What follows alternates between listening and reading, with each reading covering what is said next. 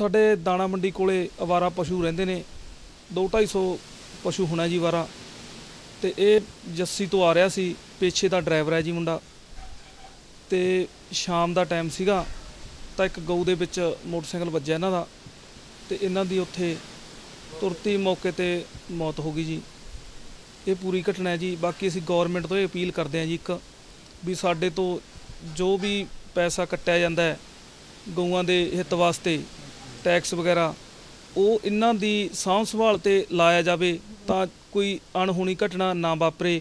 ਜਿਵੇਂ ਹੁਣ ਇਹ ਪਰਿਵਾਰ ਸੀਗਾ ਜੀ, ਇੱਕ ਗਰੀਬ ਪਰਿਵਾਰ ਹੈ।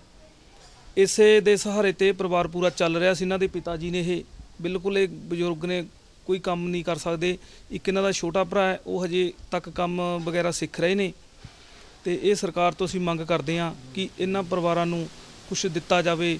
ਇਹਨਾਂ ਕੋਲੇ ਦੋ ਬੱਚੇ ਨੇ, ਏਕਮਪ੍ਰੀਤ 5 ਸਾਲ ਦਾ ਰੋਬਨਪ੍ਰੀਤ 2 ਸਾਲ ਦਾ, ਤਾਂ ਇਹਨਾਂ ਦੀ ਕੋਈ ਭਵਿੱਖ ਦੇ ਵਿੱਚ ਕੁਝ ਬਣ ਸਕੇ ਤਾਂ ਜੇ ਕੋਈ ਸਰਕਾਰ ਇਹਨਾਂ ਨੂੰ ਕੁਝ ਦੇਵੇ ਤਾਂ ਕੋਈ ਮਦਦ ਕੀਤੀ ਜਾਵੇ ਆਰਥਿਕ।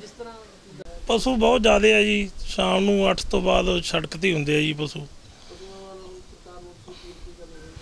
ਪੀਲ ਤਾਂ ਜੀ ਇਹਦਾ ਟੈਕਸ ਵਸੂਲੀ ਜਾਂਦੇ ਆ ਜੀ। ਇਹਦਾ ਕੋਈ ਹੱਲ ਹੋਇਆ ਨਹੀਂ ਪਸ਼ੂਆਂ ਦਾ।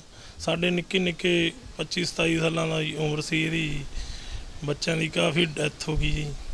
ਹੋਰ ਵੀ ਇੱਥੇ ਐਕਸੀਡੈਂਟ ਬਹੁਤ ਜ਼ਿਆਦਾ ਜੀ ਆਈ ਵੀ ਹੈ ਜੀ ਰੋ- ਰੋਡ ਇਹ ਤੇ ਬਹੁਤ ਜ਼ਿਆਦਾ ਐਕਸੀਡੈਂਟ ਹੁੰਦੇ ਆ। ਐਕਸੀਡੈਂਟ ਦੇ ਵਿੱਚ ਕਿਸੇ ਅੰਗ ਕੱਟੇ ਗਏ ਨੇ ਜਾਂ ਹੋਰ ਬਹੁਤ ਜ਼ਿਆਦਾ ਜੀ ਹੁੰਦੇ ਆ ਨਿੱਕੇ ਨਿੱਕੇ ਬੱਚੇ ਵੀ ਡੈਥ ਹੋਈ ਆ ਬੱਚਿਆਂ ਦੀ ਤੇ ਧਿਆਨ ਦਿੱਤਾ ਜਾਵੇ ਹਾਂਜੀ ਇੱਥੇ ਅਸੀਂ 1 ਮਹੀਨੇ ਦੇ ਵਿੱਚ ਕੋਈ ਔਸਤ ਪੈਂਦੀ ਹੈ ਜੀ ਕੋਈ 4-5 ਐਕਸੀਡੈਂਟ ਜ਼ਰੂਰ ਹੁੰਦੇ ਨੇ। ਕੋਈ ਵੱਡਾ ਛੋਟਾ ਕਿਸੇ ਦੀ ਡੈਥ ਹੋ ਜਾਂਦੀ ਹੈ, ਕੋਈ ਅਚਾਨਕ ਸੱਟ ਪੇਟ ਵੱਜ ਜਾਂਦੀ ਹੈ, ਇਹੋ ਜਿਹੀਆਂ ਘਟਨਾਵਾਂ ਹੁੰਦੀਆਂ ਰਹਿੰਦੀਆਂ, ਪਰ ਪ੍ਰਸ਼ਾ- ਪ੍ਰਸ਼ਾਸਨ ਹੈ ਜਿਹੜਾ ਇਹ ਇਹ ਅਣਗੌਲੀ ਦੇ ਵਿੱਚ ਹੀ ਰਹਿੰਦਾ ਜੀ। ਇਹਨਾਂ ਦਾ ਕੋਈ ਟਿਕਾਣਾ ਬਣਾਇਆ ਜਾਵੇ, ਜਿਵੇਂ ਕੋਈ ਟੈਕਸ ਵਗੈਰਾ ਲੈਤਾ ਜਾਂਦਾ ਹੈ, ਤਾਂ ਗਊਸ਼ਾਲਾ ਬਣਾਈਆਂ ਜਾਣ, ਤਾਂ ਇਹਨਾਂ ਦੀ ਕੋਈ ਸਾਂਭ ਸੰਭਾਲ ਵੀ ਹੋਵੇ ਗਊਆਂ ਦੀ, ਤਾਂ ਕੋਈ ਜਿਹੜੀਆਂ ਕੀਮਤੀ ਜਾਨਾਂ ਹੈ, ਤੇ ਬਚ ਰਹਿਣ। ਤੇ ਸਿਰਫ ਅਸੀਂ ਤਾਂ ਇਹੀ ਕਹਿਣਾ ਚਾਹਾਂਗੇ ਵੀ ਜਿਹੜਾ ਗਊ ਜਿਆਦੇ ਸਾਡੇ ਇੱਥੇ ਹੈਗੀਆਂ ਨੇ, ਇਹਨਾਂ ਨੂੰ ਪ੍ਰਸ਼ਾਸਨ ਕੋਈ ਢੰਗ ਤਰੀਕੇ ਨਾਲ ਇਹਨਾਂ ਦਾ ਕੋਈ ਇੰਤਜ਼ਾਮ ਨਹੀਂ ਕਰ ਸਕਦੇ, ਤਾਂ ਇਹ ਘਰਾਂ ਦੇ ਚਿਰਾਗ ਬੁਝਾਉਣ ਵਾਸਤੇ ਹੀ ਰੱਖੀਆਂ ਨੇ।